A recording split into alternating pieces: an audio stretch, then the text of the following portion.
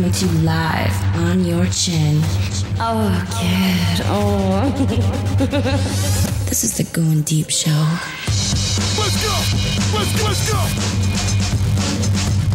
You ready? I don't give a fuck. You're my favorite.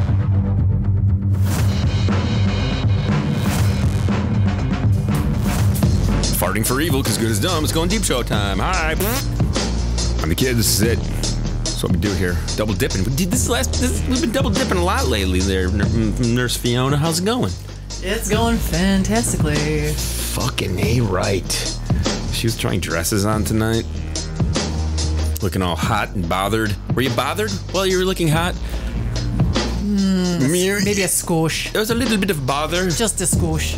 If you'd like to reach out to our program, if you got a comment or you have some stupid thing to say, if you find us retarded, but you're continuing to listen to us, that's the point here, guys. We're gonna get in, get in here for 20 minutes here, kill that time as you're driving or masturbating or whatever you do to our sexy voices right here. Licking the bean. Oh yeah. Today's episode, we're gonna talk about sex. We're also gonna talk about retarded children. We're gonna talk about death too. We're gonna save death for the end, so stay for that, everybody. It's always it's always a good topic to wrap up. You know, as some people kick the bucket. I'd like to salute them and timestamp everything here on this program. Today, though, we're gonna kick things off with this trend of there's this sex trend, okay, or multiple seven sex trends. It's always the number headlines always get you. Anytime there's a number in a headline, 21 greatest cars of all time, 10 best fucking things to tickle your butthole. Just whatever it is, there's always the number game that gets you uh, caught up in this thing. So this is seven sex trends we'll see more of this year. These lists always come out at the beginning of the season because it's just that time of the year. Everybody's new. it's the new year. Blah blah blah. So here we go. 2022 report explores trends, offers insight into ethical non monogamy becoming a more prominent relationship model. See, I told you right off the bat. Non-monogamy. Non- monogamy. Monogamy. So wait a minute. So non-monogamy. so like you talking they're talking swinging. Yeah. Yeah? Yeah, Oh well, either well, either swinging or cheating. Same thing. It just depends who knows what. Side piece. How much swing are we talking here? We got a little bit of swing. We're talking swing and wade from one left to the right. Here, This is a nutty. Sex swing. So I don't know. I can't. I don't think I could ever be involved with somebody who's who would be into that. Our friend, I have friends that are like that. yeah. And what do they what do, what do they say about it? Do It's- they big say it's the best time ever, and I'm like, I'm good. I'm good. I am solid. Yeah, I don't think good I can do it. I don't me. think I can do that. I just don't. I don't know. I want nothing to do There's with that something shit. that, can't wrap my brain around it. I don't play nice in the sandbox. Oh I'm no. not sharing my toys. Uh. like if I saw even one of my closest friends like getting all up in my lady, I would fucking chop the goddamn heads off. I've I've experienced that not too long ago, and, and although I loved loved loved my friend, and and she's like one of the most amazing people ever in the whole entire world. You know, a little alcohol takes over, and inhibitions kind of like go out the window, and I'm sitting there, and it's like, okay, you can get the fuck off right now, like on somebody else. See if yeah, this is yeah. That, I, I love you, but I will fucking drown you. Yeah. Yeah. Just sorry. I think No. it, yeah, I think that's the thing. There's something that when you become And he ain't trying to say something because he's like, oh, like I don't want to make things weird. Right. Like it's already kind of fucking weird, don't you think? So I was like, all right, well, time to go. we used to have a guy on the baseball team who was a swinger, and him and his wife seemed to be like the happiest fucking couple I've ever seen. They were uh, Sure, they were uh, probably fully satisfied in every way possible. he was a bigger dude, big guy. She was a big woman as well, and they had stories. He had such good stories about uh, having parties at their house. They had this house over by uh, Michigan Avenue in B- in BC here, and and they would he had he redid his entire garage with a stripper pole and a bar and all this shit, and and he had a pool. And the one time I went over there before he remodeled his uh, his garage, there was like some mattress like laying in the fucking garage. I'm like, is that what? Yeah, he was tell he would tell stories of banging his wife and getting tired, and like tapping a friend in to fucking finish her off. Hmm. And I'm like, hmm. I don't know if I I would kill somebody. We lacking stamina up in there? He probably was. He was a big I mean- he was a big motherfucker. So let's read a little bit more here how this thing is going to potentially you know, non-monogamous relationships are going to be the big thing here coming up in the 2022. You got to love it. Ethic ethical. I like how they started off Ethical. ethical, non monogamous, ENM as it's referred to here, and fluid relationship. I knew the word fluid was coming in. Uh, you do call that quite quite frequently. Predicted the fluidness of shit. I don't I don't like that. I because you can just decide to be anything you want at that time and you get if I change my mind like this happens with the pronouns and shit.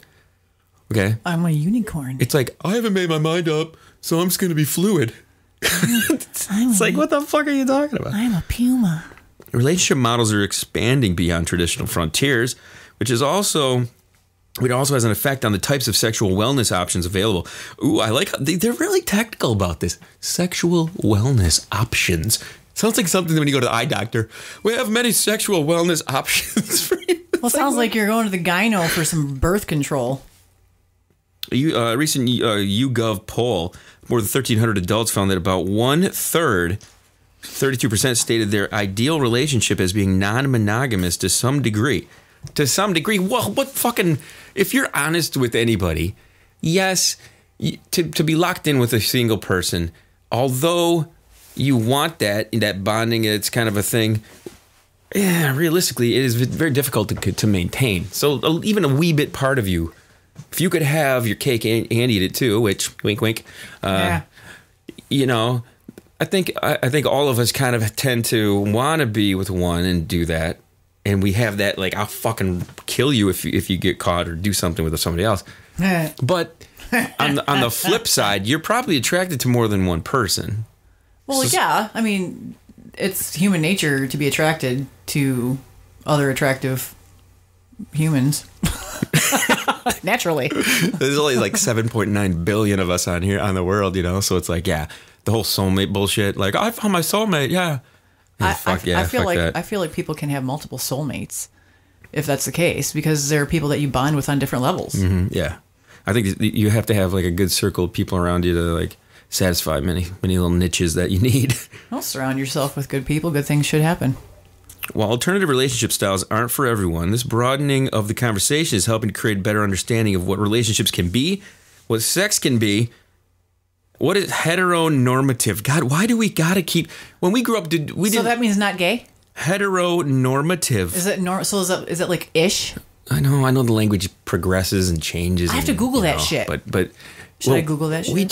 tr- I don't know. Is this something that we is this something that we kept we were kept away from when we were kids? Did, did that word exist while we were growing up? I don't know if it did. That's a negative there, Ghostwriter. No, there is no fucking heteronormative. Go fuck yourselves with that shit. Who are these nerdy? And if there was, go fuck yourselves anyway. the picture that they show in this is hilarious. It's like a white dude and a black guy and a redheaded white chick in the be- between them. Like she's doing fucking. So it's- so it's a gangbang. She's doing ski poles with him. we call this an Eiffel Tower. In this case, it's a ghetto Eiffel Tower. and she's a ginger, so there's got to be another kind of twist to it, you know. Well, you Fucking know, brave. that's a twist from the blonde. right. Number two, masturbation for pain relief. no, yeah, I'm on board of this. You know what? I've been pain relieving myself for years. I am so relieved of all pain. No pain, no gain. So there is actually some some validity to pain relief with orgasming. Orgasms. oh yeah. oh yeah. I'll agree with that because when I have a stomach ache, sometimes I'm just like, if I jack one off, it's gonna feel better. When when when's the last time you had an orgasm? It didn't feel better. Women women can actually get rid of cramps with orgasms. Really? Yes. No shit. No shit. Is that a, is that some type of ploy when you're with the guy? Like, I got cramps. Can you just fucking Real the give me some oh, me. give me some oh, give me some oh time. I need that dick down. No, it's it's true, and uh, there are medical there are medical devices that can be used to keep the mess down to zero, pretty much. I did not know this. I've always thought that if I was gonna like be I was actually going to bring this up on a on a, on a Doctor Nurse episode, uh, Doctor Nurse F show episode, and uh, it kind of went by the wayside because we were all about the claw. Masturbation, with its multiple health benefits, including relieving stress and, re- and releasing feel good hormones, is becoming a more a part of people's self care routine. Self care. I don't know, man. Me beating the shit out of my dick is not really caring for that little fucker. He's probably like, stop doing this to me every morning. Why? What did I do to you? I mean, uh, you gotta you gotta keep that fucking that 55 gallon drum of lube handy. I know that's the thing. we- You guys were talking uh, with uh, with Doctor Mike Hunt. The other day, and he was talking about lube and stuff like this, and, and LB with his his hand situation, his brown hand. it made me think that I need to invest a little bit in some stuff. I got some cocoa butter the other day. I got some baby oil. Fucking a. You know, I'm gonna start whining and dieting myself, getting some candles on, play some Kenny G in the background. Scented candles. Yeah, exactly. Lock the doors. Make sure nobody fucking sees. make sure every camera on the fucking place is hidden. But this, so I, I'll, I'll agree with this a little bit. I mean, obviously, these studies say this. I, I've always, whenever I ever I was younger, I'd have a stomach ache or something like that. First, my first thought was immediately, fucking, let's jack one off, crawl into a fetal position until your stomach ache comes back, and it would usually help me get to bed. Yeah. Yeah, so Yeah. hats off to me. I was way out of my time jacking for medical purposes. Yeah. Get that oxytocin going.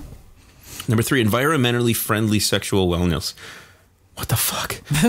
who in the who are these nerdy McFuckertons writing this shit? That's when you dump your spooey in the plants and give them extra protein. environmentally friendly sexual Don't awareness. use rubbers because they're bad for the environment. there you go. Oh, skin to win. I call it raw dogging it. That's what we do. Turns out people are becoming more environmentally conscious when it comes to their sexual health too. Is focused has shifted to what intimate products are made and the how they impact the environment. So seriously, it is talking about. It's got to be, you know, these Jack po- off with fucking with pocket corn with olive oil. Or? pocket pussies and shit. Is this? You go to the damn sex store. Is this vegan friendly? it's like seriously, what the fuck are they thinking? Did you make this? Did you make this dildo from bamboo? That's crazy. to. Ow! It expands. Oh yeah. In the U.S., uh, it's a the market is a seven hundred million dollar global feminine care market. Seven hundred and seventy million dollars So when they're saying- yearly. when they're saying feminine care, So I'm wondering if it's uh, something with. I mean, it has to be a combination of everything from lady freshening stuff to protection stuff to fucking, you know fucking and tampons shit, stuff. I mean, there's got to be a whole Oh, thing I'm on sure. I'm sure. You eliminate all that stuff by using by using the device that helps you fuck on the rag. For many eco-conscious, suck, sex involves opting for toys that are rechargeable and made with high-quality material. So they're talking even batteries. Man, what people? They got, people got a lot of shit that they No can. lithium ion. How much goddamn time do these people have to be like, what haven't we really gone after yet? And to figure out how we can save some fucking energy. versus a diesel fuel fucking- fucking Got got a Two-stroke. You got a whole goddamn uh, Kickstart. uh, You know, Generac fucking pole start. freaking backup battery plan. What is this thing on the wall over here? It's my solar powered vibrator machine. It's like what the fuck.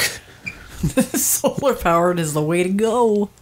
Just lay your ass out in the sun fuck there. Wearable sex tech is number four. So I can see this because have you seen this Oculus?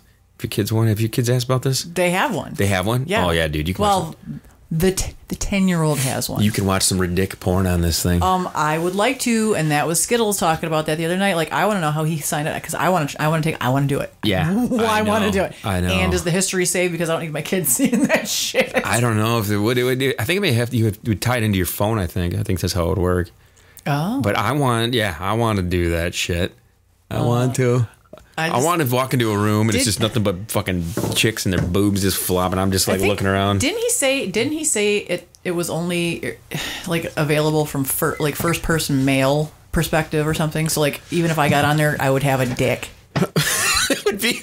Well, no. Do you know how much fucking awesome You, that you want to know what it's like to have a dick? I would fuck all the holes. Well, yeah, there, there is a curiosity about that. Mr. Clean uh, brought it, brought this up years ago about how you ever think about what it'd be like to be a chick? I'm like, no, only you have Mr. Clean. Fucking crazy. I had a dream once when I was younger that I had a dick, and man, I was fucking everything. you think? Oh, yeah. I was like, like no wonder, no wonder dudes are like this because this is Uh-huh. The fucking thing is, the thing is, you know, when you're a guy, you you tend to think about where you can take your dick out, where you shouldn't take your dick out, where you shouldn't. Like it, Yeah, th- yeah. There's I those- just, I just like, I remember dreaming it, and I was, I remember like, like thinking in my head, like, God damn, this is fucking awesome. And like, like I was, I was really hot, like I was really aroused over it in my dream, like in my sleep. Fuck. that's fucking hot. God damn. I'm like, dude, I'm fucking everything. I'm fucking everything. So you, so this would really be fucking awesome for you because Oh, you would go to the ones you would kind of flip it out. I assumed that you would want to have a room full of guys there, just with their junk all hanging out. No, and being no. able to look around. You want to be No, the I want to be the, I want to be, I want to be the, from the guy's perspective and just fucking rail all the bitches. yeah.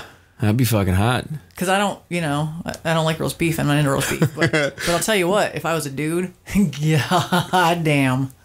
Yeah, sorry. So now, years ago, we had stories about how you could get a bodysuit with something you would tuck inside of you, and then the guy has a bodysuit where the the suit wraps around his dick, and it has all these sensors and stuff on it, so that you, anybody when you touched a certain part or you could have virtual sex, the person would feel it on the other side.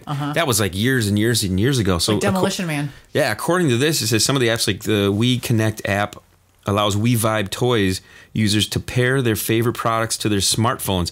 So you can just hit the one same button over and over and over and over. yeah, we've talked about this, you know, with the with the with the uh, vibrating panties and stuff Yeah. and all that kind of thing. So th- th- this is something that we've just scratched the surface on. This is going to be something that down the road because you know everybody. Oh, I can see that being a COVID's going to keep us all in, fucking masturbating and fucking we vibing and shit. Hey man, I just started. I just got into the game myself, like in the last fucking six months, seven months, or whatever.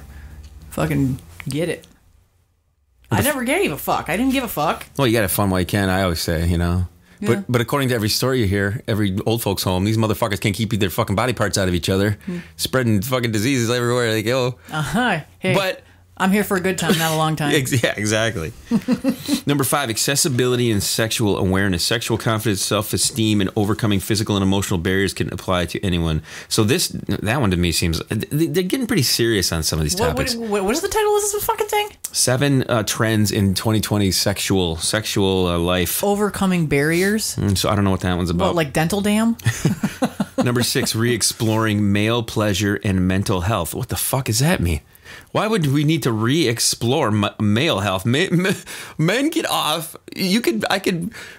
I don't think you got to worry about guys in their mental health getting off. In fact, getting off and jacking off and coming and having sex with somebody, that is the best mental health solution in the world, I think, because you would get rid of all of these school shooters if these motherfuckers just got some fucking pussy. Half the time, these guys, these deliberate, what, what's the, the, the voluntary uh, celibate chick people? Those Oh. those guys deciding, well, I'm a nerd and girls don't like me, and they get all fucking pissed off and pent up, and that those are the motherfuckers that are out killing people, you know. and- if all they would do is just fucking get off, just fucking come, just dude. go jerk your fucking self off, and you will be happy as a clam. Mm, it says male p- pleasure options have largely been stagnant. However, the liberate, liber, liberalization of society starting to see an increased number of men interested in issues such as mental health. Jesus fucking Christ. Let me get to the last one here. AI in space, the final frontier of sexuality. So that, again, back to the the AR and the virtual, you know, robotic type, The- yeah, uh, the VR. the body type stuff. Uh, we did not even get to. I was going to bring up a text message that I literally just received here on the program. I'm going to read it out loud. This involves a former host of the show, uh, Mr. Clean. According to a friend of a friend of a friend of a friend here, is making small talk and reaching out. And this, is, yeah, we'll have to save this for later because I got to I got to dive into this. It's a little bit longer of a message than I thought, but. Mr. Clean, I was listening to a show with him the other day, and I was like, ah, oh, yeah, he's he's missed. He's a missed man sometimes, you know. Literally, yeah, literally. literally. Where is it here? Do I have a literally here? I think I got a literally for us. Literally, Yeah, literally, literally. my guy. he is missed. Fiona, you got any final words to tell everybody? Uh, yeah. Play however you want to play in the sandbox. Yeah, get some get some fucking toys, do some things. But uh, yeah, I agree with you. Uh, when I'm when I'm locked in with somebody, I want to I want to I want to kick ass together with them. I don't need anybody else being like trying to steal some time with my person. No, I think you know no. what I mean. And I mean, Yeah. Again, Yeah. I'm here for a good time, not a long time. I'm a little territorial. A little My good time is with my one person. fucking a right. I'm a kid. This is Going Deep Show. Thank you guys for hanging and banging with us as you do. Episode 1913 already. Nice. Fucking over a dozen into the 1900s. See you guys soon. Chill to the next one.